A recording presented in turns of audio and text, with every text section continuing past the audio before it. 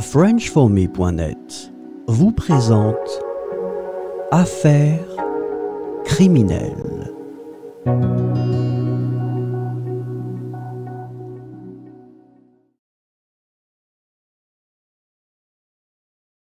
L'affaire Un couple presque parfait de 2005 a captivé l'attention avec le meurtre choquant de Marc et Sophie un couple apparemment idyllique.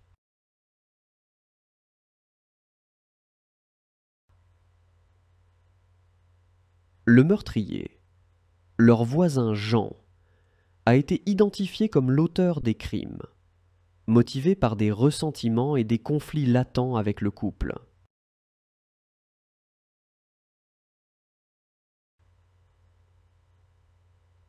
L'enquête policière a débuté après la découverte des corps dans leur domicile, avec des signes évidents de violence et de lutte.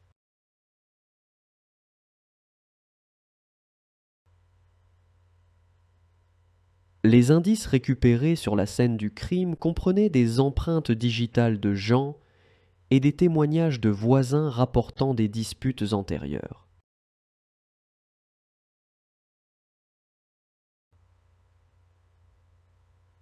La police a également examiné les relations tendues entre Jean et le couple, ainsi que les antécédents de comportement agressif de Jean.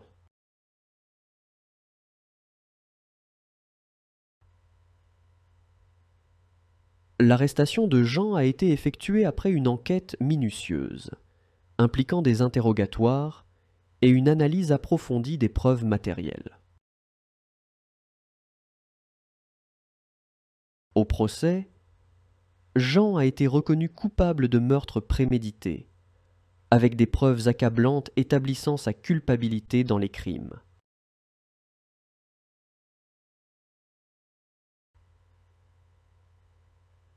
Les délibérations du tribunal ont abouti à une condamnation à la réclusion criminelle à perpétuité, compte tenu de la gravité des actes commis.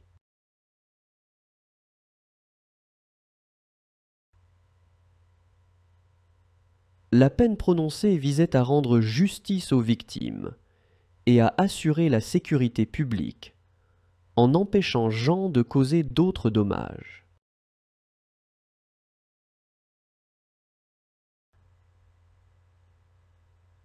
Cette affaire a mis en lumière les dangers potentiels des conflits de voisinage et des rancœurs non résolues, soulignant l'importance de la médiation et de la résolution pacifique des différends.